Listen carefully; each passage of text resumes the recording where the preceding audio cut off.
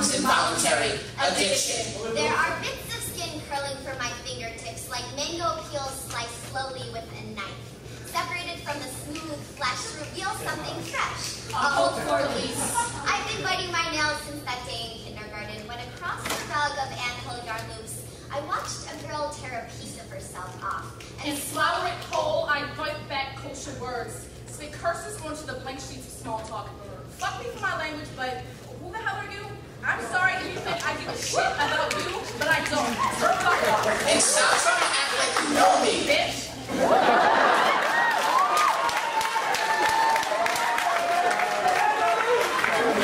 I didn't know love was a curse word until you slapped me for saying it. So I swear now. Hope you get angry enough to miss the point. I always got scolded for knowing too much. Was told to learn from vaguely qualified adults whose parts just weren't in teaching anymore.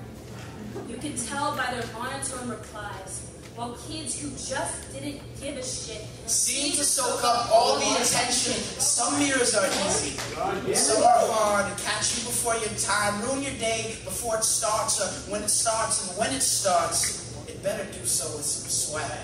A cavalier wait when you catch one eyeing you. No fear in the club. I need my face to stand out and I care about how it looks. I know it looks bad. But I never learned how to make friends.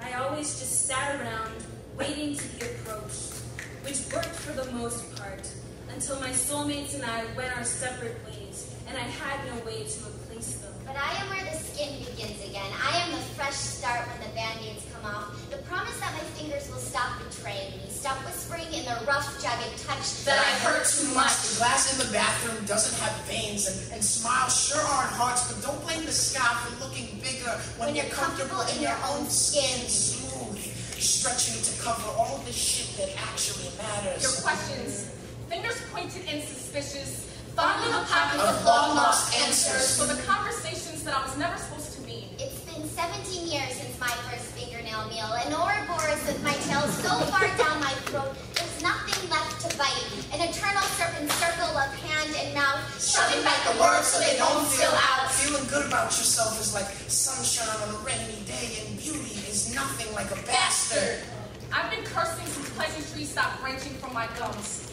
Maybe I like the way I speak this band in a lot of places, so fuck you. No, I did not read ahead. I felt like pursuing knowledge. She winked at me, and I couldn't resist her smile. For a while, its wattage fulfilled me, but I, I still care more than more than I should about the last girl who didn't call me hot. She said, I've never seen anyone who looked like you before. but, I, but I've seen it before. But I've seen it before. In car windows, restaurants, Well, excuse me. Mm. the back of old iPods, puddles that stare straight back.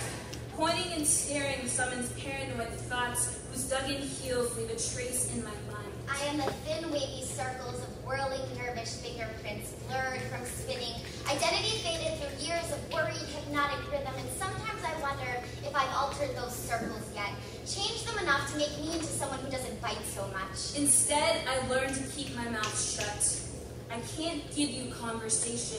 All I'm used to is the silence. I don't even know if I love it or hate it. All I know is it's familiar. My insecurities are a plague of awkward parts, and I'm not sure how to share with you. So when you see me Biting. cursing, Staring. Or standing silent. please don't think of it As just another dirty habit. やったー!